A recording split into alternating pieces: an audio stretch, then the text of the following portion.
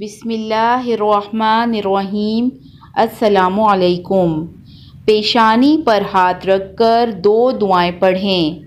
انشاءاللہ اللہ تعالی ہر غم آپ کا دور ہوگا، ہر پریشانی آپ کی ختم ہو جائے گی۔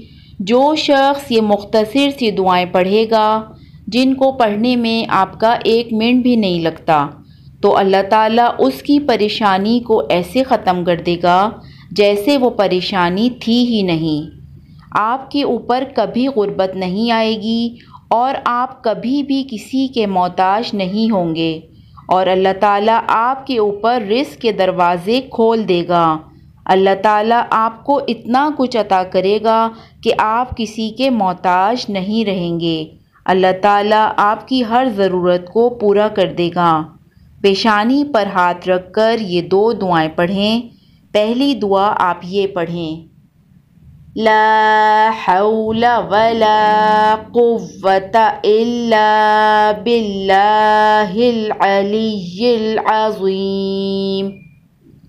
دوسری دعا آپ یہ پڑھیں۔ بسم الله. اللهم أنت ربي.